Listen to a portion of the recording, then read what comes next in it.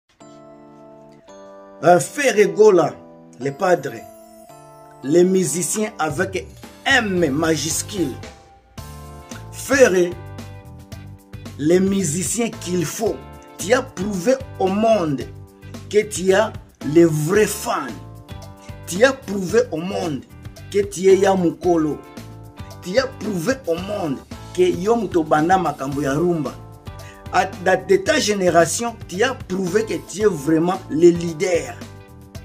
Félicitations, Frère Gola. Bravo à toi. Les Gaulois, les Gauloises, les gladiateurs, vraiment félicitations. Vous aviez prouvé au monde que vous êtes capable. Vous êtes là. Vous allez assurer la musique euh, euh, et l'entourage, euh, la promotion de Ferigola. Je fais d'abord coucou chapeau bas à monsieur, on appelle Musée Kindingu, l'homme qui nous a amené une façon de faire le marketing, une nouvelle façon de voir les choses quand il s'agit de marketing, de la promotion et de communication. Le monsieur, je ne pense pas qu'il est passé par les bas de l'école, mais nous a amené de la créativité. Il nous a montré comment faire les choses, une nouvelle façon de faire les choses. Il nous a démontré il a démontré au monde entier, spécialement au Congo, que le marketing n'est pas seulement fait par les, par, les bics à l'école, dans les bureaux, mais ça s'est fait aussi d'une autre manière. Le Messie venait toujours avec des slogans, avec des nouveaux slogans, avec une nouvelle conception à chaque fois qu'il apparaissait sur les réseaux sociaux. Nous Kindingu, je, te, je te félicite. Merci en tout cas, encore une fois, merci au même les gens qui étaient censés de faire la promotion le marketing tu as été au-delà de ces gens-là tu as prouvé de quoi tu es capable Ferré, si tu pourras m'écouter un jour, soit tes fans ou soit l'entourage de Ferré Gola. Le monsieur là n'est pas un monsieur seulement ya kopesa mwa mbongo akei c'était mese a protege asalaka bapromotion ya baspectacle ya, ya, ba, ya, ba ya minene minene mese mze kindingu vraiment tu nous a prouvé moi tu m'as vraiment épaté tu m'as convaincu que il y a les gens qui savent faire la promotion mais ils ne sont pas soutenus toi tu es parmi ces gens là qui ont besoin d'un soutien pour nous donner ce qu'on qu n'a jamais vu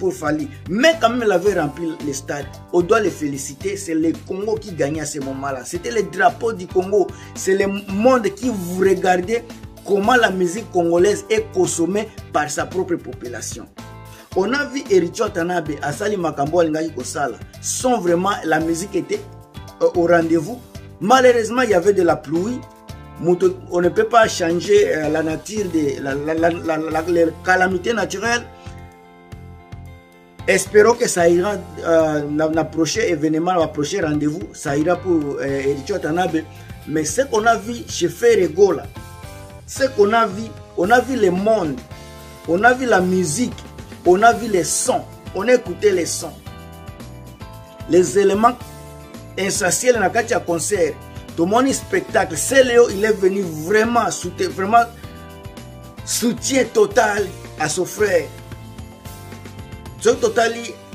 animation ya fere ya, ya, ya, ya mm, celeo ntango akotaki chaleur oyo atiaki na spectacle tomonaki mpe bamisusu bapresse ba d'angola et tout ce genre la bafabrigas ba, ba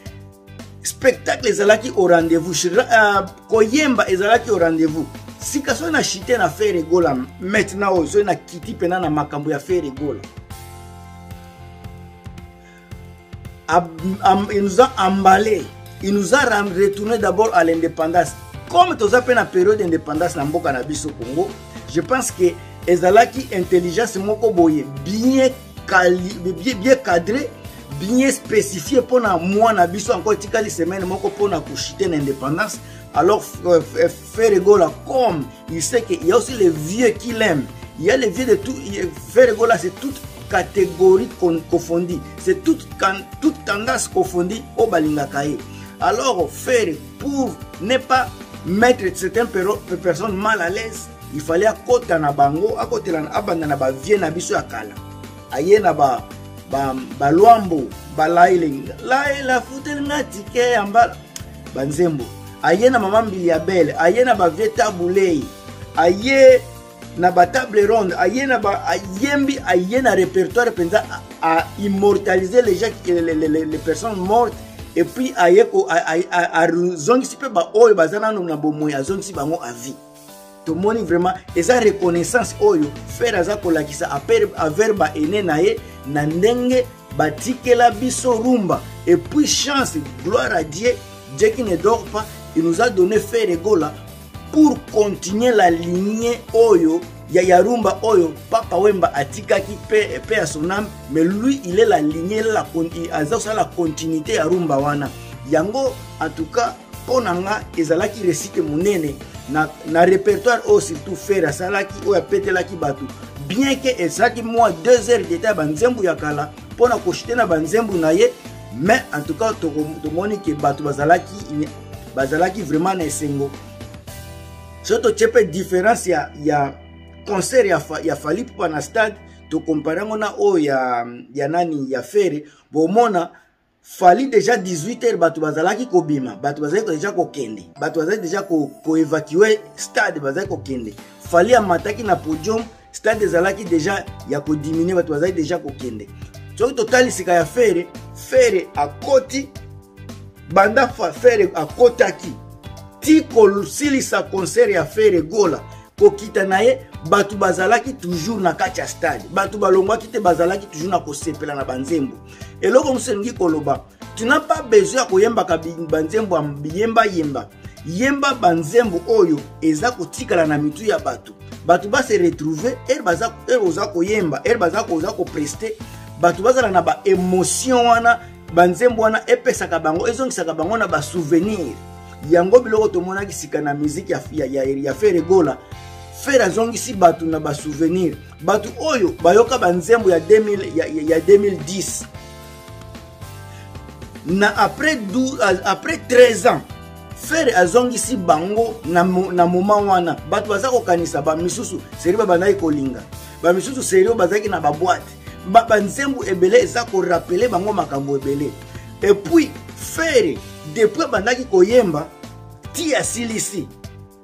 A aucun moment toyoki ke mongongo ekatanaki. Il a toujours été au, au, au, au rendez-vous na banzembo nyonso atiaki. Il a toujours été là mpo na koyemba. Jamais azali kopesa bato mikro mpo ye akatani apesi bato mikro bayemba. Wana ezalaki mwa erreur moke fali azali kosala ye kaka il faut bato bayemba ye azalaki en incapacité ya koyemba miziki il fallait bayembela ye banzembo ce qui est contraire ya, ya, ya fere gola fere ye akoti de, depuis akotaki na podium ti kosilisa azalaki na ye toujours koyemba professionnalisme eza ebimeli wapi fere etant intelligent stratège na makambo na ye ya koyemba ayebi ke na parti oyo ntango mosusu na kolemba akotisi bafabrigas bayembi azwi apemi moke soki moko asilisi azongi lisusu donk aza kobalase makambo ndenge ifalaki esalema me kote fe fali de temps aza koyemba vocal ya pamba avant asilisa aza kotika bato basiliselaka ye banini bavocal c'est comme si bato bazali koya nde koyemba banzembo na ye olie bato baya koyoka fali bato bazalaki nde koya koyemba ce qui est différent de fere fere aza koyemba na bato en même moment jamais fere aza kotika micro bato bayemba aza koaccompagne nzembo na bafan na ye moko na baestima bango nyonso bazokende place moko fere en tout cas félicitation oyo baoyo balobaka kele mpenza oza chanteur eh, oyo ya kowangana yango eza te soki totali na barepertoire nyonso ya bayoutubere oyo basala bavideo sur fere gola moto abimisa ye voix angélique eza ngai ngai moto ezali koloba za aza avec voix ferrochrome eza ngai parce que nayokaki déjà mongongo na sentir façon fere aza koyemba na ndenge asalaka banini asalaka ba, ba, ba, baconclusion aza kosilisa banzembo na ye ndenge asalaka biloko wana ozosentir ke moto oyo aza monstre yango nasala mpe baémission kala bane passé ke un monstre chanteur baseri abimisaki nini oyo uh, dynastie volume 1 bato oyo bakoya koloba bilobela mpo na ngai c'est normal parce que mutu na mutu aza na po ya kolobela pona ko pona ko faire euh, plaisir na mutu na ye mais biso bo toza penza neutre toza koloba makambo ndenge ezali ndenge esengi Fally c'était bon musicien et grand musicien azosala fierté ya miziki ya congo inosbi grand musicien azosala fierté ya miziki ya congo ericho tanabe grand musicien azosala fierté ya miziki ya congo e ferre gola grand musicien azosala fierté ya miziki ya congo mais différence na entre bango nyonso ekozala toujours motu na motu aza na eloko nini oyo eza kobimisa ye meilleur par rapport ya motu ya, ya moninga toyebi fali ayembaka bien lokola bato nyonso mais soki tokomi na ndenge moto aza ko andirasi ya koyemba na kati ya shaire moto aza koyemba omoni ke motu adire aza koyemba aza koumela aza kokatana te je ne pense pas ke tokoki kokompare fali na fere bango nyonso baza koyemba bien mais ka tolingi kotia comparaison entre bango mibale motu nyonso ayebi na baoyo baza koya koloba bilobela bayebi ke Ferre Gola aza na, super, na, na suprematie na supériorité par rapport ya Fally Ipupa tokoki kolinga tolinga te toko totali stade yango moko kaka à part bamaka mosusu totali stade je pense que euh, Ferre Gola a fait mieux par rapport à Fally Ipupa soki botali mpe bato nyonso je n'ai pas encore nanu natali te mais soki bokoti na baplace ebele je vous parie ke bato bato ebele bakoyebisa bino ke atuka nini